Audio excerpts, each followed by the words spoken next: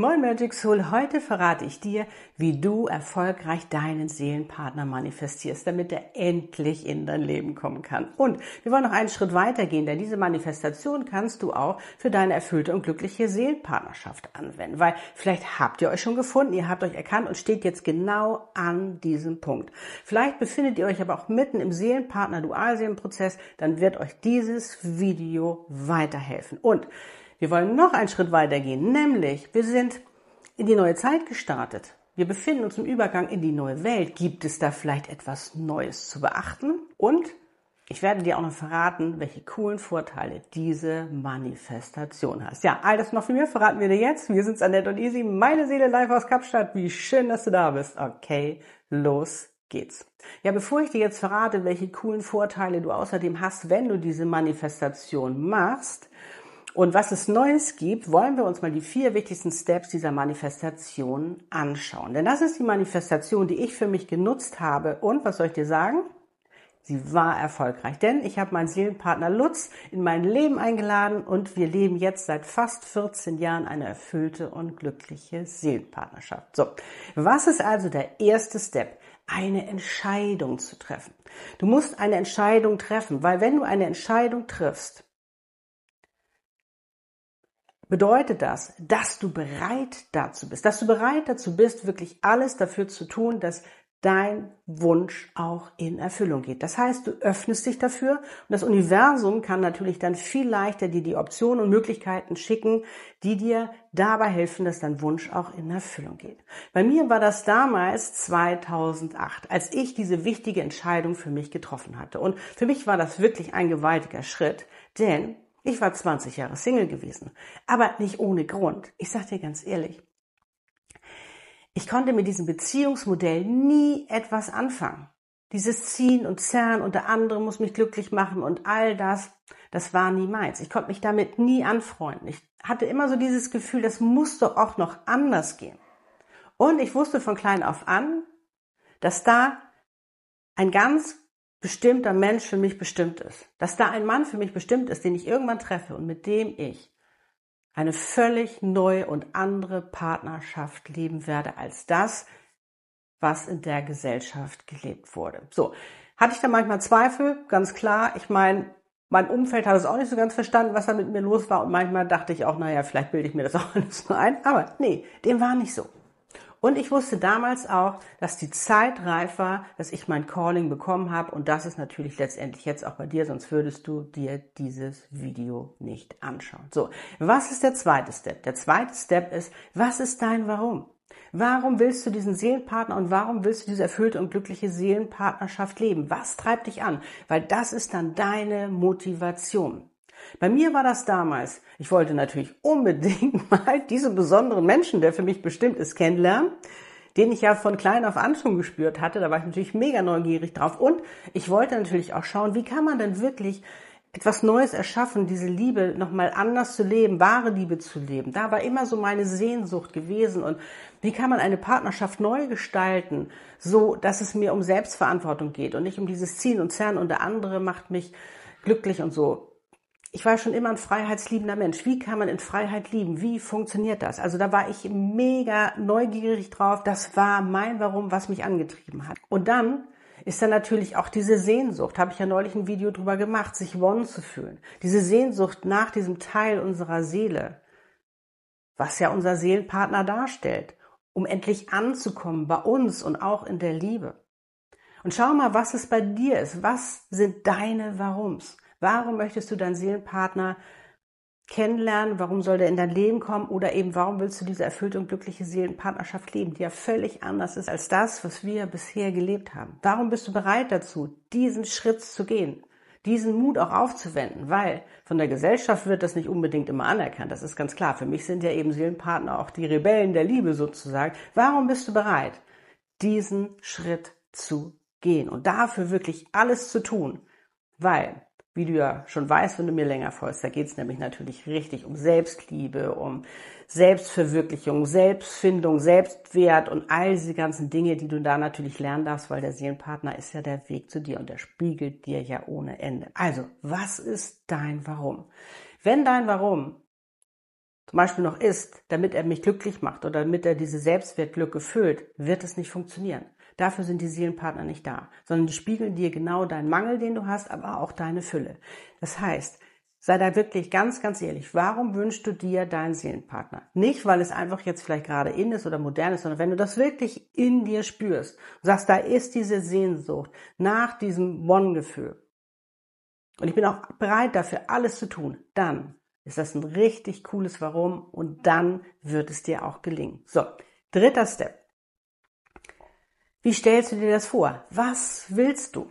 Und mach das auch schriftlich, dass du es wirklich aufschreibst. Wie stellst du dir deinen Seelenpartner vor? Wie stellst du dir deine erfüllte und glückliche Seelenpartnerschaft vor? Und nicht nur im Kopf, sondern wirklich aufschreiben. Weil das ist ganz, ganz wichtig, weil dann, du weißt, der Schreiben hat nochmal eine doppelte Power, weil dann entscheidest du dich auch für etwas, was du gerne leben möchtest. Weil oftmals sagen wir ja und dann wünschen wir uns dies oder wünschen wir uns das. Nee, das reicht nicht aus, sondern wirklich zu sagen, was ist mir wichtig? Auf was soll mein Seelenpartner mitbringen? Bei mir war es zum Beispiel so, mir war ganz, ganz wichtig, dass er aber auch Südafrika gut findet oder wenn zumindest so weit bereit ist, dass er mir, mit mir dahin geht, weil das ganz wichtig war für mich. Also was ist wichtig für dich? Dass du dir da klar bist, was sind deine Werte? Ich könnte zum Beispiel auch nichts mit einem Typen anfangen, der äh, kein Essen genießt. Ich liebe Essen. Und das mit seinem Partner zu zelebrieren, das ist mega, mega cool. Wenn ihr da eben Gemeinsamkeiten findet. Ich meine, das Coole ist, dass die Seelenpartner ja meistens Gemeinsamkeiten haben. So, und da macht ihr auch wirklich Gedanken, wie stellst du dir deine erfüllte und glückliche Seelenpartnerschaft vor? Was bedeutet das? Auf Augenhöhe. Was bedeutet denn das auf Augenhöhe, das, was wir uns alle letztendlich wünschen? Was möchtest du mit ihm erleben? Bei mir war es zum Beispiel, dass mein Partner Humor haben muss, weil ich mit dem lachen möchte. Ich möchte aber auch mit dem tiefe Gespräche führen. Ich möchte, dass der mich so annimmt, wie ich bin. Und damals war es ja bei mir zum Beispiel auch so mit meiner Spiritualität, die ja gerade in mein Leben kam. So, hätte Lutz jetzt gesagt, ach nee, was ist alles Hokuspokus, dann wäre das nicht gegangen. Dann wären wir noch nicht bereit füreinander gewesen. Aber er war offen dafür. Er konnte zwar nicht so recht damit was anfangen, aber er war offen dafür.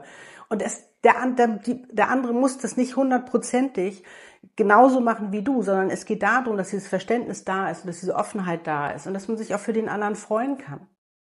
Weil das ist ganz, ganz wichtig, dass du dich da jetzt schon mal mit auseinandersetzt. Und du wirst ja auch merken, auch beim ersten Date, wenn du deinen Seelenpartner triffst, ob er es ist oder nicht, weil ihr natürlich sehr viele Gemeinsamkeiten haben werdet. Und das Schöne ist, wenn du dich vorher damit auseinandergesetzt hast, kannst du da schon ja gleich mit ins Gespräch reingehen. Weil den Fehler, den die meisten machen, ist, dass sie sich darüber keine Gedanken machen. Natürlich haben sie vielleicht ein paar Vorstellungen, wie der Typ sein soll, aber letztendlich wird es nie angesprochen beim ersten Date und dann danach auch nicht. Und dann kriegt man immer mehr Angst, das irgendwie anzusprechen. Und dann denkt man, aber der andere müsste das doch wissen. Er liebt mich doch. Nee, der kann nicht alles ahnen, auch wenn es dein Seelenpartner ist sondern da geht es ja eben auch darum, in deiner Seelenpartnerschaft wirklich auch äußern zu können. Was sind deine Wünsche?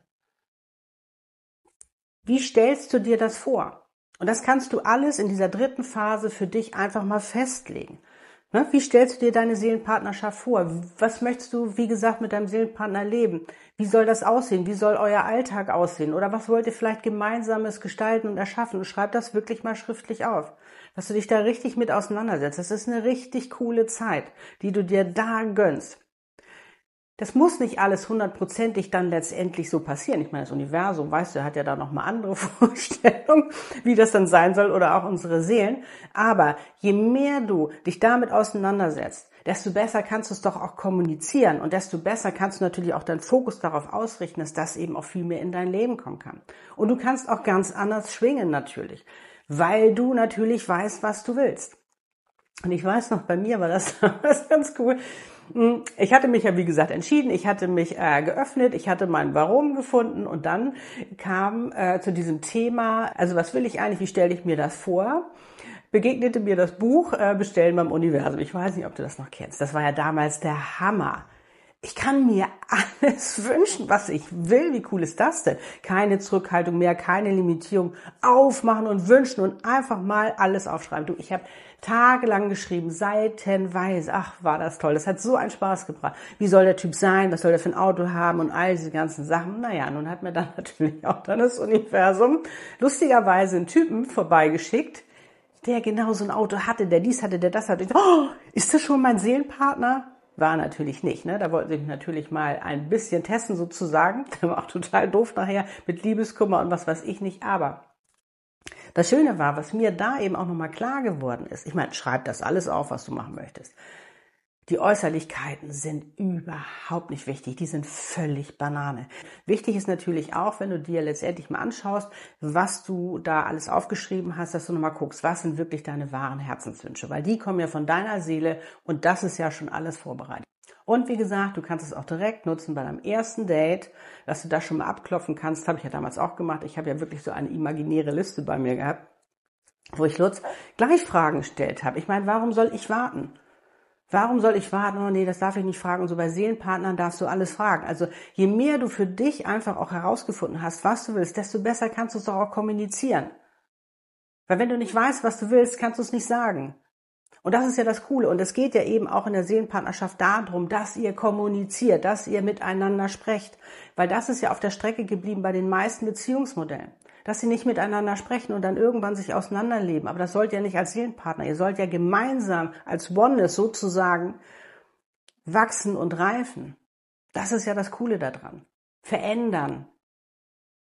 Das dürfte in der Seelenpartnerschaft. Und wo der andere dich anfeuert, damit du letztendlich eben auch da wirklich immer mehr in deine wahre Größe gehen kannst. Es geht ja darum, der Weg zu dir, immer mehr zu dir zu werden. Und da kommen wir jetzt auch schon zum vierten wichtigen Step. Zu welcher Version von dir musst und darfst du werden, damit der Seelenpartner auch in dein Leben kommen kann.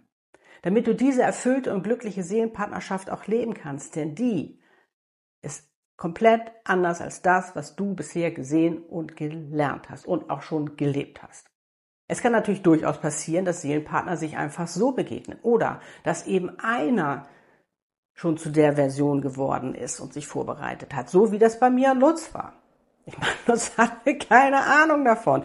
Bam, sieht er mich und denkt so, wow, das ist meine Frau. Und dann war das Chaos groß. Kannst du dir vorstellen, vielleicht hast du das auch gerade so erlebt. Aber das Schöne ist ja, wie gesagt, der Seelenpartner ist der Weg zu dir. Du tust es doch für dich. Das heißt, Selbstliebe ist ein ganz, ganz wichtiges Thema in der Seelenpartnerschaft. Selbstwert dass du deinen Selbstwert erkennst. Und das erkennst du zum Beispiel auch schon, wenn du dich auf deinen Seelenpartner vorbereitest. Dass du dir mal überlegst, wie stelle ich mir überhaupt vor, so eine erfüllte und glückliche Seelenpartnerschaft. Mir ist dabei aufgefallen, als ich diese Übung gemacht habe, wie willst du denn auf Augenhöhe eine Partnerschaft leben, wenn du ein absoluter Control-Freak bist? Ich war ein absoluter Control-Freak. Das muss sich ändern. Ne? Kam natürlich auch durch meinen Job irgendwie in der Design- und Kommunikationsbranche immer den Mann stehen und bloß keine Gefühle zeigen ne, und immer tough sein und immer alles kontrollieren. Aber Liebe kannst du nicht kontrollieren, das funktioniert nicht. Also den Kontrollfreak in mir, den durfte ich mal verabschieden. Und das ist das Schöne, wenn du dich damit auseinandersetzt, weil dann wirst du merken, oh, da muss sich ja etwas an mir ändern, weil jede Veränderung beginnt in dir. Und das ist das Schöne und das ist die Inner Work, die du dann starten darfst in dieser Manifestation oder wenn du dich auf deinen Seelenpartner vorbereitest und eben auf eure Seelenpartnerschaft. Und diese Inner Work, da gehört eben Selbstliebe dazu, dein Selbstwert erkennen. Selbstbewusster sein, überhaupt ein neues Selbstbewusstsein für dich auch zu finden, dir zu schenken. Auch dein, und da gehört dir alles dazu, auch deinen Körper anzunehmen, überhaupt auch für dich zu erkennen, dass du liebenswert bist, weil wenn du das für dich noch nicht erkannt hast, wird es dir schwer fallen, diese tiefe, wahrhaftige Liebe auch überhaupt annehmen zu können. Das heißt nicht, dass du in allem fertig sein musst und du musst dich lieben über alles und all diese ganzen Sachen, das meine ich überhaupt nicht, das weißt du. Sondern es geht darum, dass du eine Basis schaffst. Weil je mehr du vorbereitet bist, auf deinen Seelenpartner. Und jetzt komme ich mal zu den Vorteilen, die nämlich mega cool sind. Desto leichter wird es dir auch fallen, mit ihm zusammenzukommen. Desto leichter wird es dir auch fallen in deinem Seelenpartner-Dualseelenprozess. Und das war ja bei mir auch so. Ich war ja vorbereitet. Ich wusste, was ich wollte. Ich wusste, was mein Wert ist und all diese Dinge. Darum konnte ich es ganz anders kommunizieren. Und darum konnte ich auch ganz anders durch diesen Seelenpartner-Dualseelenprozess gehen. Und das ist ganz, ganz wichtig, weil du dich von innen stärkst. Weil du immer mehr du selbst bist. Weil du immer mehr im Vertrauen sein kannst. Und das ist das Coole und das ist das Wichtige. Wenn du dein Seelenpartner oder auch eben deine Seelenpartnerschaft manifestierst, weil du dich damit auseinandersetzt und weil du dann schon mit deiner Inner Work anfangen kannst. Das ist die Vorbereitung dafür und dann wird dir alles viel, viel leichter gelingen. Ist das nicht cool? Weil du brauchst eine neue Programmierung, du brauchst ein neues Filtersystem, weil alles geht eben auch durch dich. Das heißt, wenn du mit deinen alten Glaubenssätzen in die Seelenpartnerschaft reingehen willst, funktioniert das nicht. Das heißt, du musst dir neu schaffen, du musst wirklich aufräumen, du musst wirklich gucken, was passt denn dazu, was ich überhaupt leben will. Und wie gesagt, diese Seelenpartnerschaft ist etwas ganz Neues. Da geht es um Eigenverantwortung, all diese Dinge, die ich eben schon aufgezählt habe. Das heißt, du musst neu denken können, du musst dir neue Neuronenbahnen schaffen, eine neue Programmierung, die das auch zulässt. Dass du für dich auch erkennst, dass du wert bist, dass du liebenswert bist, dass du seine Nummer eins bist. Inneres Kind heilen, habe ich ja neulich ein Video drüber gemacht. Ganz, ganz wichtig. Ne? Neues Mindset.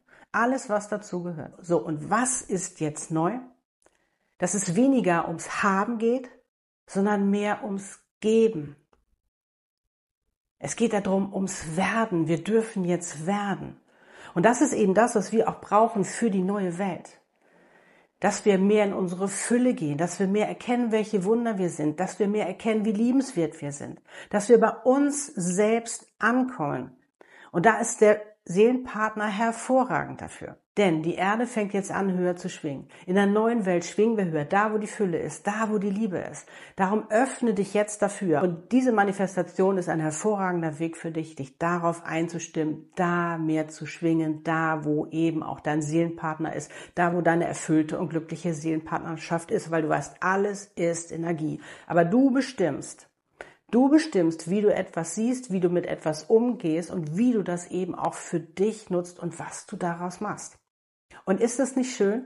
Guck mal, je mehr Seelenpartner sich jetzt eben auch finden, und das Schöne ist ja, sie haben ja sozusagen auch das Tor aufgemacht, weil unsere Seelen sind ja auch eine Mission, dass wir eben diese Liebe leben, Liebe 2.0 der Zukunft der neuen Welt, habe ich ja neulich auch schon wieder Video drüber gemacht. Es geht jetzt darum, dass wir wirklich auch als Pioniere vorangehen und wenn du dein Calling bekommen hast, dann gehörst du auch zu diesen Pionieren, die vorangehen und die zeigen, hey, das funktioniert, die aber auch bereit sind, weil es einfach ganz neu und anders ist, diesen holprigen Weg, der das ja manchmal ist, auch zu gehen.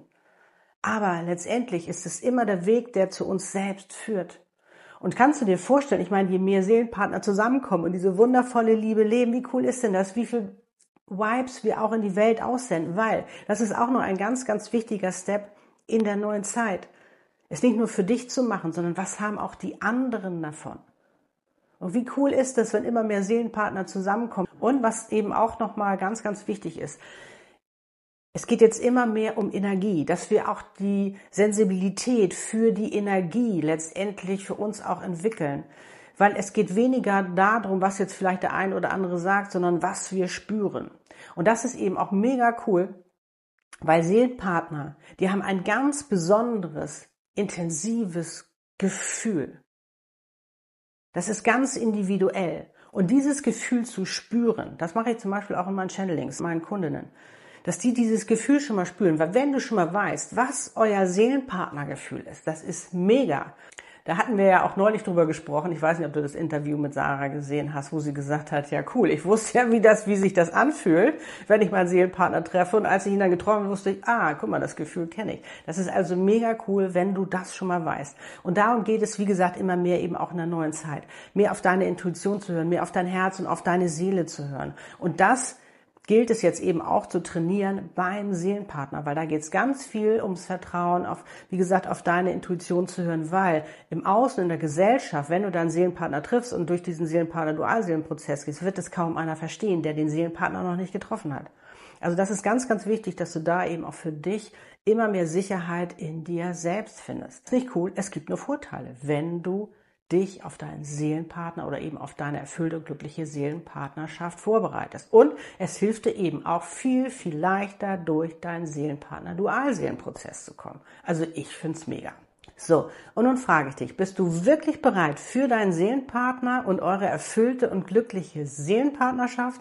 Dann schreib das gerne mal in die Kommentare, denn das ist Step 1, eine Entscheidung zu treffen und wirklich zu sagen, Ich bin bereit, alles dafür zu tun, um diese wahrhaftige, neue, tiefe Liebe auch zu leben. Ich bin bereit, in den Spiegel zu schauen, egal ob ich die Fülle sehe oder auch den Mangel. Ich bin bereit, an mir zu arbeiten. Ich bin bereit, den Weg zu mir zu gehen. Wir hoffen, dir hat dieses Podcast-Video gefallen. Wir wünschen dir ganz viel Freude beim Manifestieren. Wir sehen uns im nächsten. Ciao for now. We love you. Du bist Magic. Deine Annette und Easy.